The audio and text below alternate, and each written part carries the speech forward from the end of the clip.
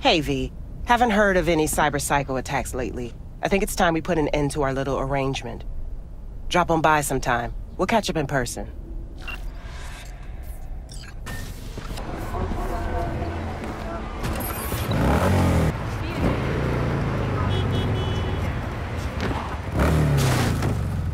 Haven't managed to find out whether... Because they don't trust foreigners.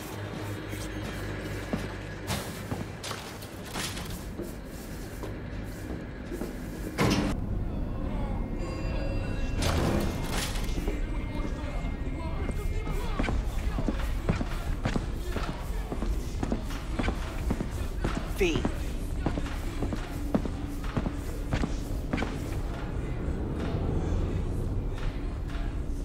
Just that I appreciate the effort you put in. You've given most cyber psychos a second chance. And I know it wasn't easy. Some of the cyber psychotic have started therapy. Even if they can't be saved, at least maybe we'll learn more about the disease. Because I refuse to believe it's just some kind of cyberware overload. Who knows? Maybe I'll learn enough to write a piece on it.